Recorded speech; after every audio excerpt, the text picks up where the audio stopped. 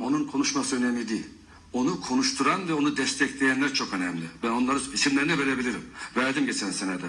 Çünkü bir söz söylemem önemli değil. O sözün kamuoyunda oluşturulması, olgunlaştırılması ve toplum üzerinde kullanılması önemli olandır. Yoksa hoca konuştu, pas geçersiniz. Örneğin akşam gazetesi isim veriyorum. Ben Hikmet Kahraman'ı aradım. Böyle bir şey olmadı diyor. Oysa Kenan Yaralı Trabzonspor kendine teşvik verdiğini söylüyor. Hikmet Karan söylemiş. Ben aradım köpürüyor ama yazı yazıldı. Olay bitti.